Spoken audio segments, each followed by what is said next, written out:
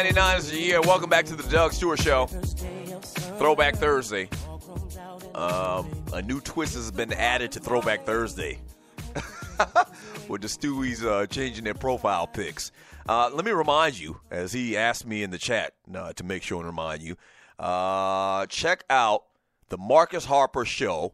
Will be live on the network tonight for the NBA draft. Now we got to make sure we don't bump heads on that because um, Kesey show is scheduled tonight at 9 p.m. So y'all get with each other, man, and uh, make sure we hash that out correctly. Um, but tonight, uh, Marcus Harper will be reporting live on the NBA draft tonight on WSME or kicking it with Kesey will be on tonight and uh, and then uh, on the network. So so pay attention. We'll see. And uh, maybe we'll even post it. This is what we'll do when we figure out exactly what times these shows come on tonight. We'll post it in the Doug Stewart Show in the Stewart Media and Entertainment chat group on Facebook uh, to let you know. So either way, you'll be good to go. From uh, T 1988 Dub Ski says those extra checks are good now. Oh, and talking about the military, I mentioned how in the last segment, a uh, a lot of the Stewies are former military. Yeah, I can imagine. I got several. I always talk about how South Carolina State is the black West Point. Like there are more commissioned officers in the military, more black commissioned officers in the military that came from South Carolina State than any other school in the country. Like our RTC program is massive. So I got a bunch of chapter bros that are former militaries, lieutenants. Um, I got a couple of generals, chapter brothers, uh, Q chapter brothers that are generals as well.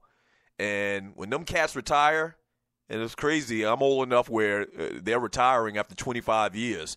When they retire, man, them dudes, they get a little pie, little job, halftime, part time job, man, and they play golf every single day. like they put in the work for that for that little pension check or whatever, man. Mm, but it was worth it. After the fact, it was worth it. Now getting it, you had to duck bullets or the possibility of ducking bullets for a career. But if you make it through, if you make it through 20, 25 years, I think the 25 years, the mark that most of them try to retire after, man. Uh, life, as they say, like Marcus Harper says, life is good.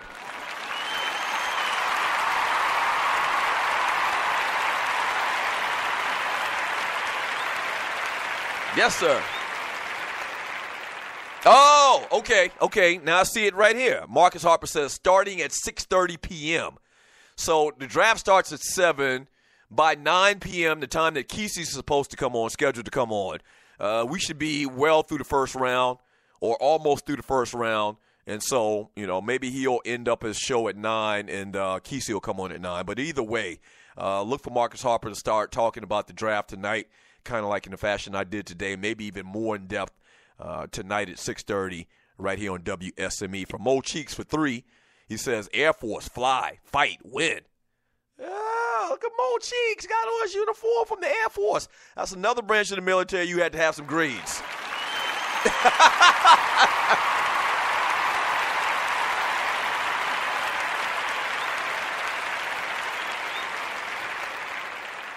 yeah, Sydney, I'm 21 Jackson in high school. Our major uh, discouraged us from joining the ROTC. He said if a war popped off, they will pull your ass out of school and send you to war. True enough, 9 11 happened and war. Yeah, I mentioned it earlier. Much respect to um, to our military guys, but I just I, I never uh, I never liked the idea if something really popped off that they put my ass up on the front line to get shot for. A lot of times, some of the causes, not all of them, and I'm not saying that anybody joining the military is anything but courageous and great and thank you. And some of the causes, a lot of the things that we get into wars about, man, uh, you know, I don't agree with. And I think it's BS a lot of times. And so um, I'm not that big of a patriot. I've never been that big of a patriot in my life. Uh, but but once again, uh, to each his own. And, and once again, we thank you uh, for all of your service. You got more heart than me, put it like that. From Fly Tie says, yes, sir, T Dub. Them extra checks on point. T Dub went, uh, my man Fly Tie. Ah! Fly Tie, look like he got on a little Moncks Corner Cowboys uniform. the white and blue colors, the, the blue trim or whatnot. Back in the day in Monk's going to South Carolina. From uh, J. Clyde Since Derek Carr just signed a five year, $125 million deal.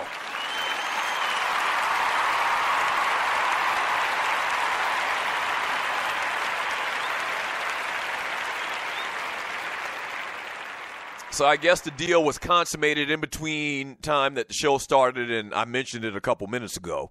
Uh, the Derek Carr was about to get paid, and so the deal went down five years, 125 million dollars, exactly on point as uh, as I talked about earlier. 25 million dollars a year, and he deserves it. He deserves it. Now listen, let me say this: I don't think no quarterback, no player in football deserves 25 million dollars a year, but it's all relative. If they want to give it to him, evidently they got it. And that's the going rate for quarterbacks these days. For good quarterbacks, I, I, I can say that Derek Carr is a good quarterback, one of the better quarterbacks. Yeah, ooh, Andrew Luck was making like $23 million a year as the highest paid quarterback in the NFL. Andrew Luck making $23 million? Why? That's that bullshit.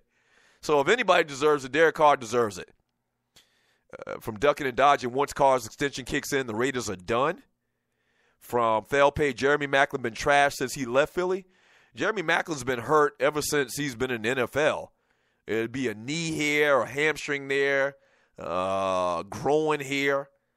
Uh, you know, he's just been nicked up ever since he's been in the league, seemingly. From GRF, rest in peace, USS Fitzgerald 7. Mayweather McGregor talk, let me know what time you talking about that so I can sauced up then, get sauced up then. Uh, we, we're not going to talk about it. Uh, really, a little side story. There's a, a story that I read from a writer, and I can't remember who the writer's name is right now, but he makes the argument that everybody in UFC believes that after this fight, Conor McGregor is done in, in MMA. I didn't know, and I was guessing at the time that Conor McGregor was going to make like, you know, maybe $25 million. No, there's there's reports coming out that after this this fight, that he's going to take home about a hundred million dollars. That's right. So Floyd somehow let him get that that amount of piece of the pie in the negotiations, and so if Conor McGregor's going to make a hundred million dollars, Floyd's probably going to make three hundred million. I would think. Okay, and so if Conor McGregor makes a hundred million dollars in one boxing match just to get his ass kicked by Floyd Mayweather Jr., why would he come back and fight in MMA and, and take $5 million from Dana White and them crooks? Why would he do that? No way. If that man truly is going to make $100 million, uh, he'd be a fool to go back in MMA and fight for five, if even 10. $100 million, you Gucci.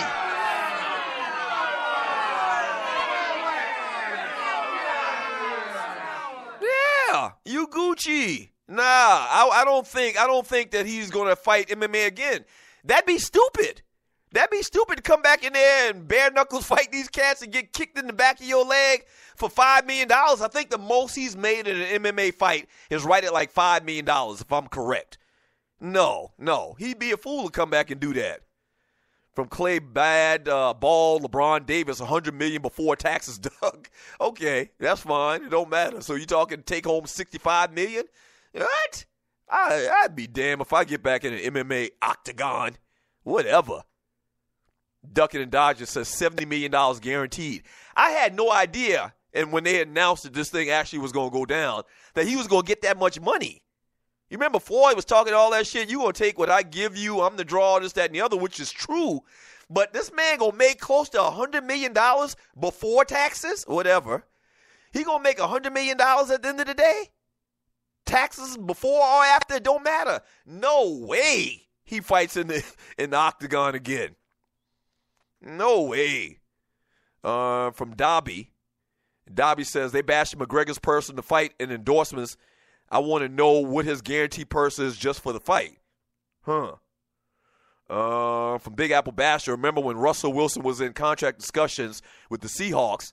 There were many detractors in the media. Carr hasn't had or hot any. I think he misspelled the word there, and is coming off a torn ACL. True, but you know I wasn't in that category. I was happy as hell Russell Wilson got his money. Um, but yeah, I'm pretty sure there probably were people saying that he didn't deserve that money or whatever. Uh, but you know what it is. Fly tie. Chucktown played one year of Little League in Goose Creek. Oh, okay, okay. Uh, Sin Doug would would shut this show down for two million dollars. Man, for two million dollars? Man, don't even get me to thinking about something like that. Uh, I like doing the Doug Stewart Show on Stewart Media and Entertainment Dolls, but for $2 million, it might be a wrap.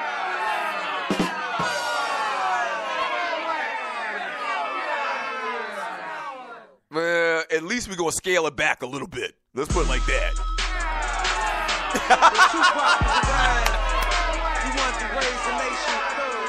We do the show one day a month. I think it's only right for me to raise a nation of bros. Yeah. Frank Cole. Uh huh. Ernest. Hey, thank you for joining me today on the Doug Stewart Show. Speaking of, of, of not doing the show, it's time to get out of here, man. Hey, you know what?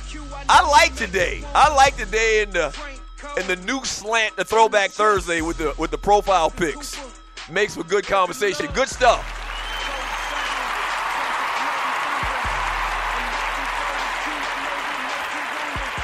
Yeah.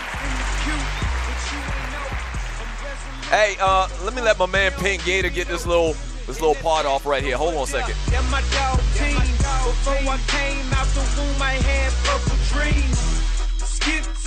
Yes, sir. Shouts out to my man Pink Gator, aka Schizo. That's his line name. Shouts out to Pink Gator for that hot ass track. Uh, my producers, Waterhead, Walter Poe, Politicking, Dwayne Vasson, Gerald Oliveri, the engineers. And special thank you to uh, the Stewies. Without you, there is no me. Thank you very much. Yes, sir. I see you, 334 Bama boy. Look like former Marine. Is that Marine or Army? Looks like Army. That's what's up, man. Fun day today on the Doug Stewart Show. All right, we'll do it again tomorrow. Same Doug Stewart time, same Doug Stewart channel. Don't forget tonight, 6:30 p.m. The Marcus Harper Sports Talk Show with Soul as he'll be breaking down the NBA draft, which will come on 30 minutes later. And then at 9 p.m., we're scheduled to have the Kicking It with Kesey show. See y'all tomorrow. Peace.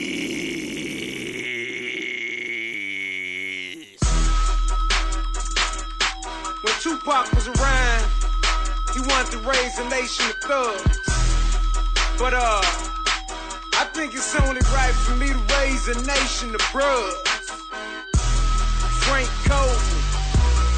Ernest Just, Oscar Cooper, Edgar Love, four founders, sons of blood and thunder.